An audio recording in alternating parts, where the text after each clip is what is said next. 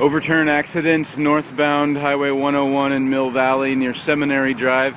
Traffic is blocked, uh, slowed.